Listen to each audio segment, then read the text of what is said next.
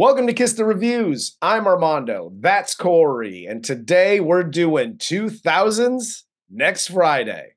Before we get started, if you want to follow us on the social medias, you could follow the show at Kiss the Reviews on Twitter, TikTok, and Instagram. And we'll get into the the cast of 2000s next Friday. But before we do, we apologize for doing these movies out of order. It's my fault I can't read. You cost us thousands of dollars because you can't read. It's actually not my fault. I think I suffer from fetal alcohol syndrome. So really, thanks, mom. I, I suffer from adult alcohol syndrome. I suffer from not taking responsibility, so I'm blaming everybody but myself for my illiteracy. That's fair. It's my bad. It's my bad, Steph. I'm sorry. What do you want? What do you want? That's fair. So we're doing we're doing a makeup, and uh here's next Friday. But this film stars Ice Cube as Craig Jones, Mike Epps as Day Day, John Witherspoon as Mr. Jones, Don DC Curry as Uncle Roy, Lisa Rodriguez as Karla, and Tom Lister Jr. as Deebo. I know we shoot our shots a lot on this show, and a lot of it's funny. Yeah. and we're like, ah, I, I'm available. Hey, yo, Kym Whitley, we need to have a fucking chat, girl. On, on dogs, you need to fucking call me now. God damn. I didn't hear a word that was said when Aunt Sugar was on that fucking screen. Nothing. Nothing. I heard nothing. you know what? Better watch yourself. You're gonna get a call one of these days. I'm telling you right now, if God made a woman specifically for me, her fucking name is Kym Whitley. Thank you. We know, Corey. We know.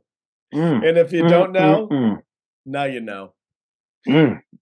But I'm out. this- That's all I got. That's all I wanted to say about this fucking movie. My business was- is done. that was Peace. Corey's that was Corey's favorite part of the movie. Indeed. But- Yeah. But this movie opens where Friday left off because you know Ice Cube has got to give us the Cliff Notes version of the first movie, and Deebo is breaking out of prison. He catches Craig and Mr. Jones as they're driving to Rancho Cucamonga to move in Craig with his uncle Elroy and his cousin Day Day. Corey's life lessons. Hi, convicts. Uncle Corey here. It's dope you're breaking out, and I am not getting in your shit. You break out. But when the dudes from your neighborhood know you're planning to break out next Friday, the motherfucking guards do too, bitch. Shape up. Tighten your fucking ship up. This is crazy. This is crazy, and I have a don't do that for Deebo. Don't do that, it's not good for you. Hi, Deebo's breaking out of prison. Um, the minute you, I don't know, scale the wall or whatever they do here, that's cool. You're breaking out. I'm kind of with Corey. I'm, I'm going to stay out of your way. You do your thing, right? But after you break out, you might want to lose the orange jumpsuit that you're wearing for the rest of this goddamn movie. Just throwing it out there when the shit says county jail on the back that's not just a fashion choice. Okay. You've broken out of prison. A million people can see you. And you don't think anybody's going to snitch? Come on now. We're, we're all adults here. Let's have that conversation. It's a fair point. And we could also have the conversation of how uh, Day Day and Uncle Elroy got their money to move out to Rancho Cucamonga because they won the lottery. And obviously, they couldn't get uh, Chris Tucker in this movie. So they said that Smokey went to rehab for weed? Or did he go like the Chris Rock route and start smoking that that crack rock? And that's why he went because he he went it reminds me of that uh the Dave Chappelle scene where he goes to rehab for a weed and everybody just rips on him. That's what I was. It's exactly what I was thinking. Like, you ever suck dick for weed? no. Get the fuck out of here. What are you doing? I used to suck dick for coke. I seen him. Now that's an addiction, man. You ever suck some dick for marijuana? Huh? Literally, Bob Saget's best appearance in a movie, hands down. Yeah, But yeah, so so Smokey's in in rehab. Cool, man. So Day Day here shows Craig around. They see the Joker brothers. Day Day shows Craig his car. He introduces Craig to his neighbor, Mrs. Ho Kim, and he also meets his aunt Sugar. And that's Corey's favorite character in the movie. So if you want to take a moment to just discuss that scene, um, go be my guest. All I'll say is that that was my aunt. She's getting fucked. Is it possible this story is true? Yes, it is. It's gonna be a Pornhub movie. hmm I walk in the door and that's what jumps on me. Mm, bye. Hey, Stefan. See you guys at the end of this fucking movie when the credits are rolling. And we also here get Day Day's ex girlfriend coming over, keying Mhm. his car. And so there's that whole thing. So he goes into his like explanation. And I'll say this I actually, I liked Day Day in Next Friday way more than I liked. It's almost like they dumped him down even more for the third one. Yeah, it's really what I was saying earlier because that kept going through my mind almost from the second Mike Epps came out. Yeah. Having seen Friday After Next before next Friday, Mike Epps is really good at playing a coward. He's Yes. not very good at playing a fucking moron. Yeah. So in this, as a coward, he was great. He's a normal guy, smokes weed, doing his job, not fucking crazy about anything or anyone. Yeah. Right? What the hell happened to him at the end where in between these two Fridays where he just goes complete like did he start smoking crack? Did he get Nino's crack? Yeah. he got that Nino got- Brown crack and he has gone off the reservation. A hundred percent. Absolutely. But no, this is this is Mike Epps' wheelhouse. Is this Yeah. character, and he's fantastic. He's so No. funny. he's great in this movie. Like I liked him so much in this movie. And that the third movie was I was just like, uh, they just they just like did him dirty. They're like, we're just gonna make you a little dumber this time. But Yeah, whatever. We get Deebo's dude, his brother or whatever, calling the random burrito stand to give Mr. Jones the message that Craig's in trouble so they can jump in the back of the dog catcher truck and hitch a ride to, to get Craig. I think Cube had an idea for this script, and I think the studio or somebody involved, maybe just Cube himself, because John Witherspoon basically did the first movie for free, was like, we have got to get him in the script again. People love that character. Yeah. he blew up like he was big at boomerang and then he just blew up after playing craig's dad Yeah. so having him come back in the sequel was almost necessary Absolutely.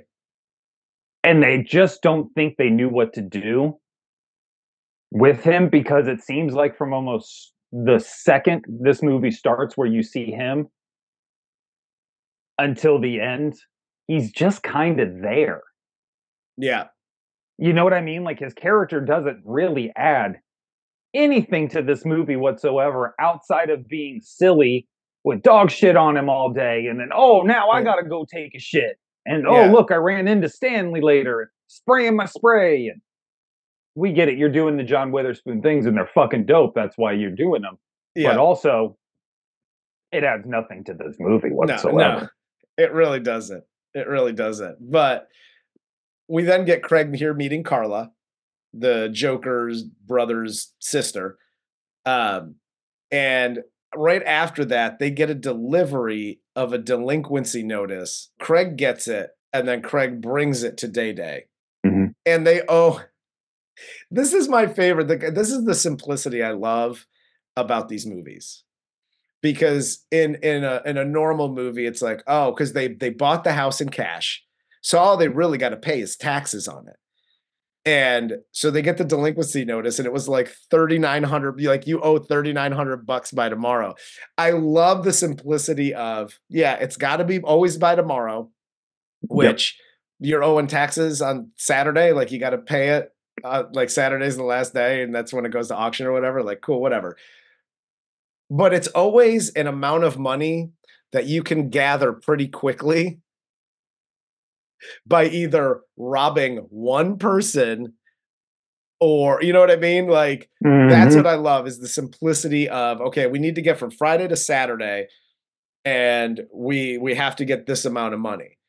Oh, you happen to live next to the Joker brothers who are obviously dealing drugs or doing whatever. They're doing all kinds of dirty shit and they have like their little their pump of goddamn cash.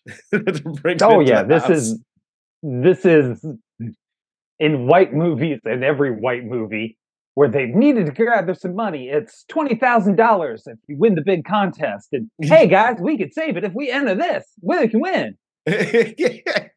Same fucking thing every time. so yeah, no, this these parts are great. And you did skip over the fact where Craig got the tax lien and went into uh, Uncle Elroy's room and unveiled once again that movie writers know what's in my bedroom because my sex dungeon is completely released to the world. Every fucking dildo I have and everything. I'm like, what are- the hell, bro? this whole thing is great because he gets high with his aunt and uncle. and then the aunt and uncle go upstairs to like bang and do like the weird freaky Corey shit. Um, and th- this is when Craig bring brings them the letter, which I actually find funny because they're like sleeping now. They still got like fucking all their shit on. They're passed out, and then Craig ends up in the middle of them and is mm-hmm. basically getting attacked, and his aunt's trying to fuck him, and like th- I, this whole scene was really funny. And again, going back to, I know Ice Cube isn't like the king of pratfalls or anything, but like he's really good just comedically in here trying to get the fuck away from his aunt and uncle. Yes. Every time his aunt grabs him, it's hysterical because Yes. he's always trying to pull away, and you know she's always going to take it way too far. Yep. And did you notice when he walks in the room, there's a video playing on the projector screen, and it's just his aunt in a different set of bondage Yes. who made like this video that's playing while they're having sex. I fucking love it. This is Oh, my kind like- of woman, dude. She's drinking wine and smoking at 10 a.m. and then going up to fuck. Hell yes. That's rock God. star shit right there. God bless America, man. Every time I give up hope in this country, I'm just gonna watch next Friday. No, Just that scene. it's worth fighting for. Absolutely. But so this is when Craig goes, he gives the uh the tax lien to to Day Day. Day Day here, while he's working at the record store, gets found and chased by D'Wana's sister Baby D until he gets away by offering up Craig to Baby D. Did you recognize Baby D? I didn't. Is it Lady of Rage?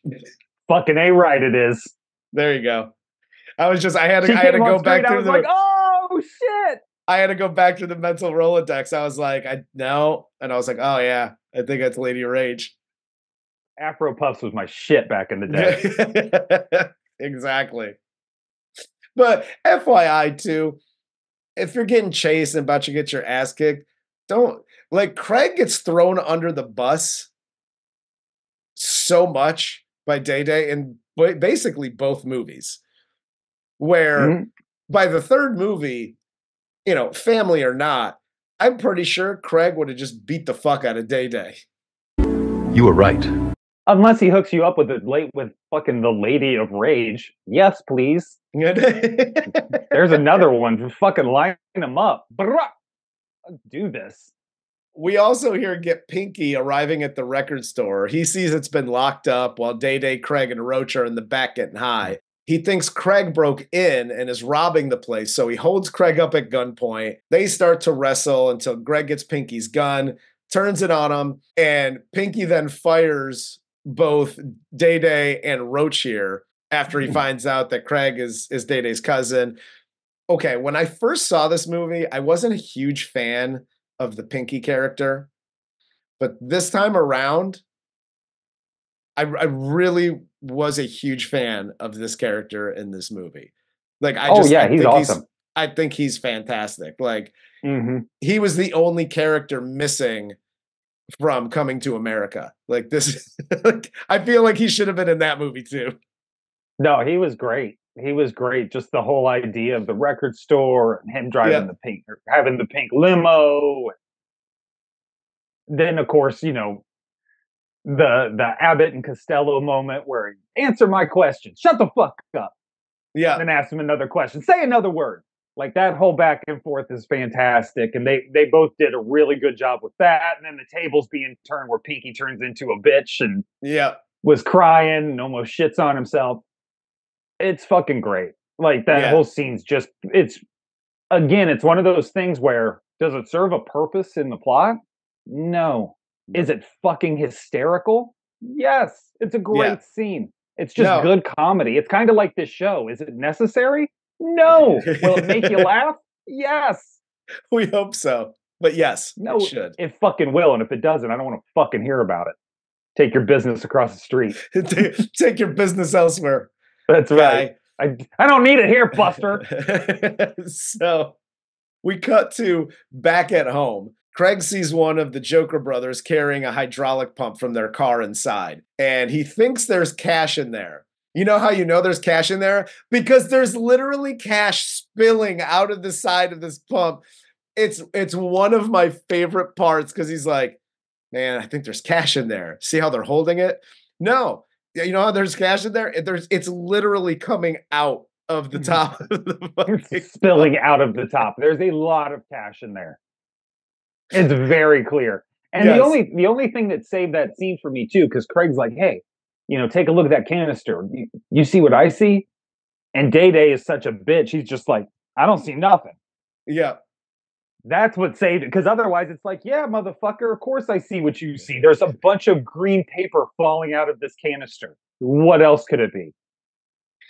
There's literally 40 grand shoved in this hydraulic pump. No, I don't see that at all.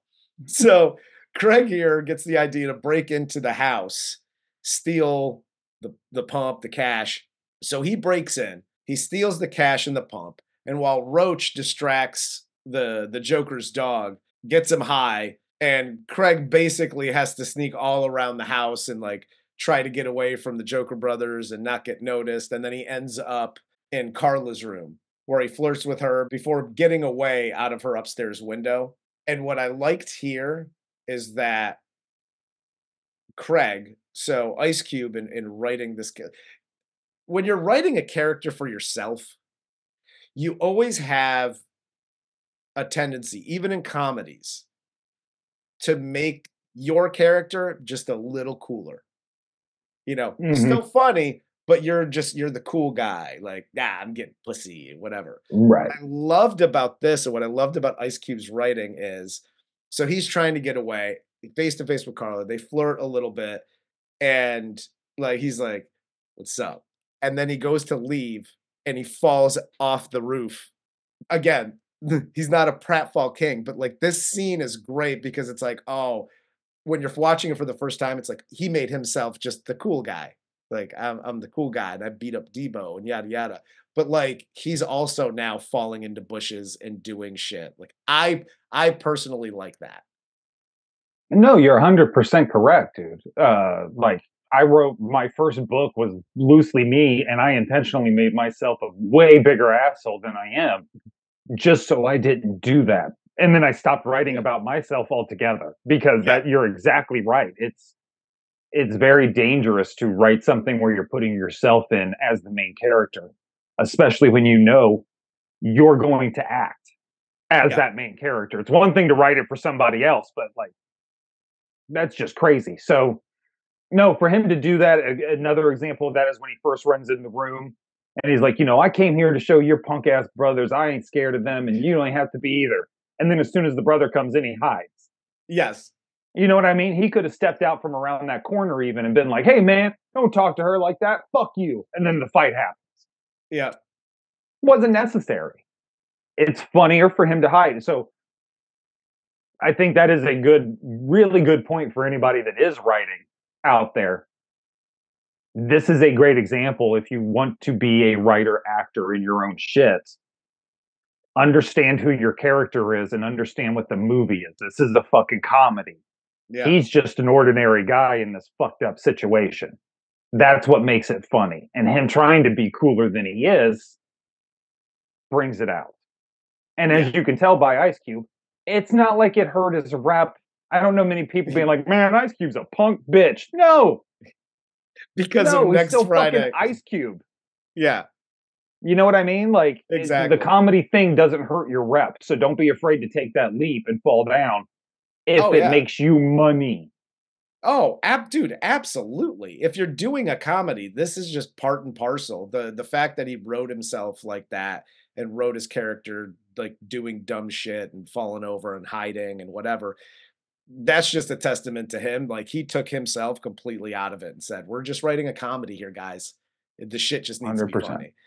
Um, but we also have Day Day and Roach knocking on the Joker's front door to try to help Craig out. Craig's already dipped, but the brothers take Roach and Day Day hostage. You know, tie him up in the in the family room. They notice that the money's gone, and they're basically accusing Day Day and Roach of of taking it.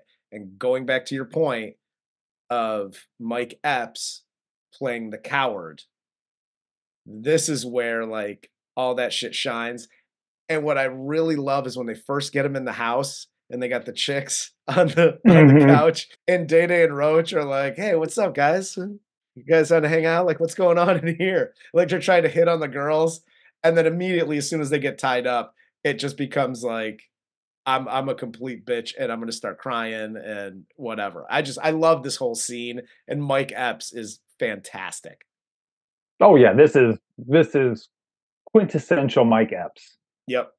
So then we have Mr. Jones finally getting to the house to save Craig, and Deebo and Deebo's younger brother Tyrone get out of the back of the dog catcher truck.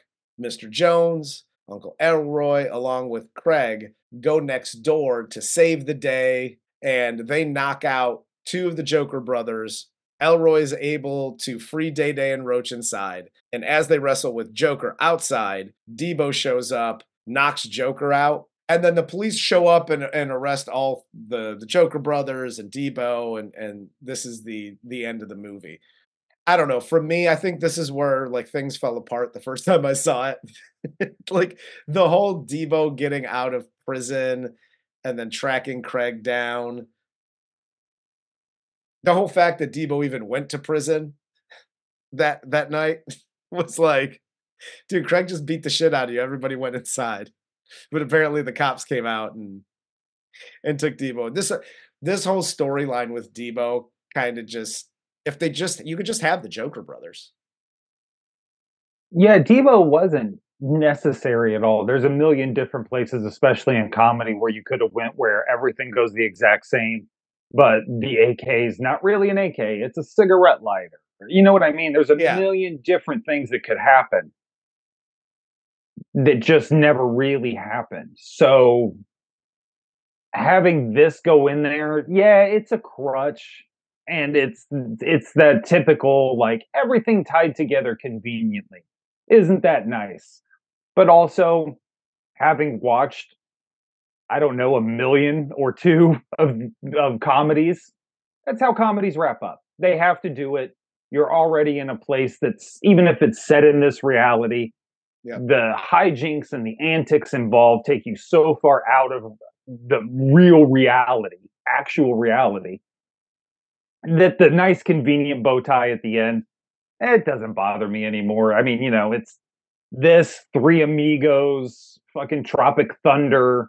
It doesn't matter what the comedy is. It always has that happen. It has to. Oh, absolutely. Absolutely. So I just so in that like yeah, does it take does it like the like I said earlier, like the whole Deebo and Johnny Witherspoon part of this, it's not necessary. Is it cool to see, you know, him on screen every time? But it's not necessary to the script. But that being said, it's comedy. I don't give a shit. oh no no what that, that, well that's the other thing too in, in in a lot of comedies you you give comedies a wide berth. There's obviously stretches in the script and and things, um, but just by the nature of the genre it is. But um, no, I mean at the end of the day, like I know we ca- we shit on the third one a bit. This one isn't as bad as I remember it being. Like I remember Hmm. it being worse and not as funny. At the end of the day, it's definitely not as funny as Friday. But this one's not a it's not a bad movie.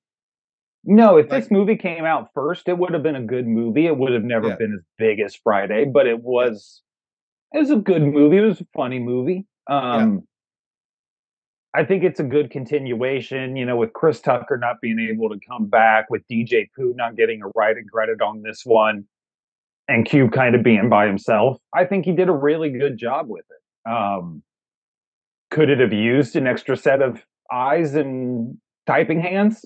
Yeah, probably.